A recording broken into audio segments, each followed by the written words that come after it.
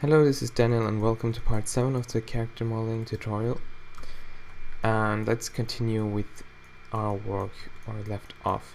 So, well,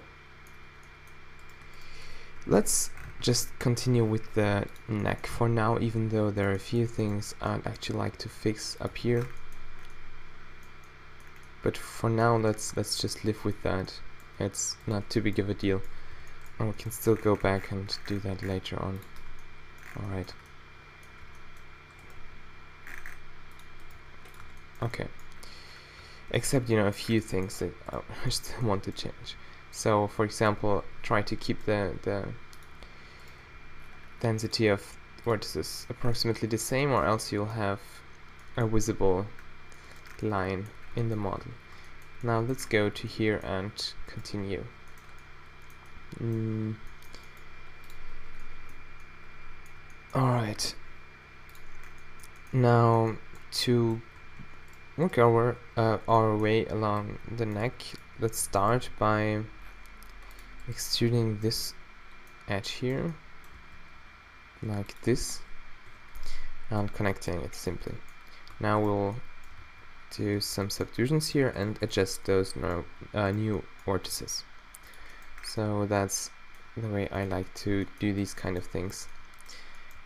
Uh, that allows you to approach um, the shape you want to reach very easily and have lots of control about it while not having too many vertices to keep um, keep in mind to have in control more or less so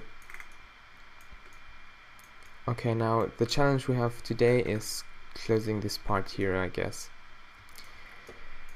um, let's start with yeah. Let's connect this part here first. Um, of course you'll have to disable clipping again if you want to extrude from the middle. Um, this is not easy. Let's try it. No this is not good let's still do one more loop here. The next uh, the next one will go down here like that. So this is where that one irregular uh, connection is going to be. Now you can just simply connect those and uh, make two subdivisions in here and then fill this up always be careful not to select everything in the back so you won't get any weird faces connected inside of the head. And that should be alright. Um, now of course make sure from other views this is again really at the right position and not off somewhere where we don't want it to be. And then continue to work about here. Now all you do is more or less again creating a grid of points that form the shape.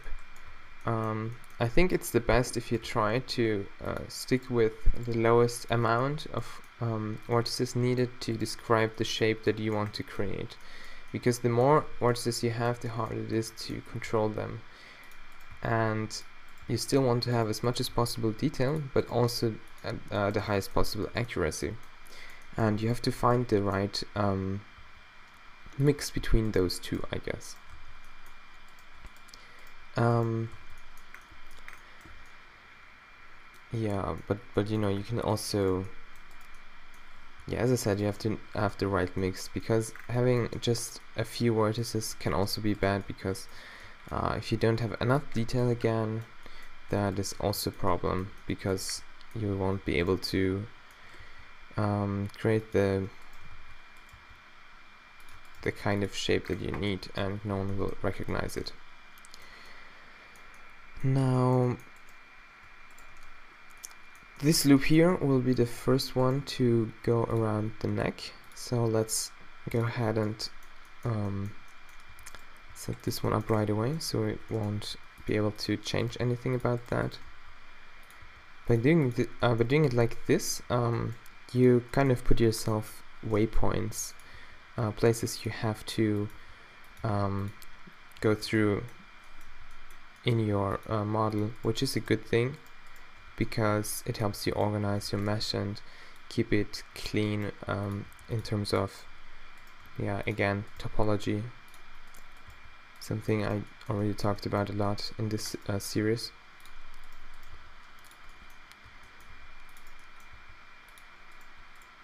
and as you can see while I'm putting those into place I'm always uh, looking at these other edges and trying to align it at least in some way. Um, it's not always possible to find something every uh, both sides are happy with. But that's why you then start editing either one of these sides too because in the end they have to match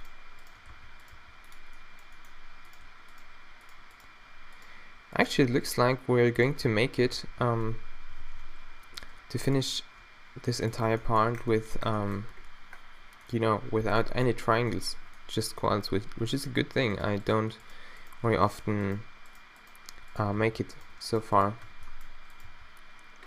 But normally once I get um, to the body I sometimes give up that rule as well. So yeah don't worry too much yeah now let's simply connect this part here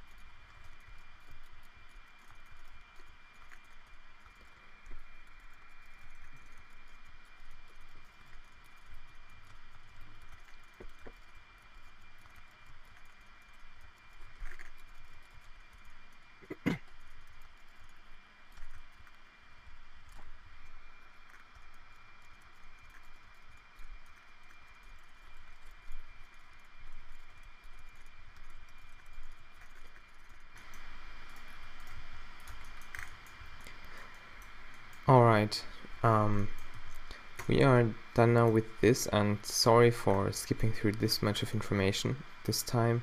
I kind of got carried away and I was quite concentrated in fixing these areas. But um, let me give you a look here uh, at what I changed and how it looks now so you can follow along. Um, by the way, something you might like, if you click on this icon here, you'll get the edges uh, displayed smooth in edit mode which is a cool feature, I think, for showing it off. And you will also be able to see the topology better that way, I think. So yeah, take a look at it. Um, the main thing I wanted to get in here is um, get this loop uh, to go around here. It's it's really not perfect. There there is really some messed up parts still in there, but it's better than earlier. You see this, this area here looks very smooth now and it doesn't um, have this weird edge in there anymore, which was the main reason why I wanted to fix it. Now, yeah, let's let's continue or actually no. I think that's enough for today again. Um, yeah so let's leave this model as it is uh, here. And let's continue working on more of this character uh, in the next video. Thank you for watching as always, see you next time.